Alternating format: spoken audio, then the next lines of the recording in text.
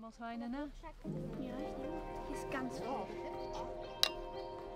Hat es an, hat es am Recht an ihm? Ich habe ein Regenwurmei gefunden. Oh mein Gott. Früh geschaut, immer, ja.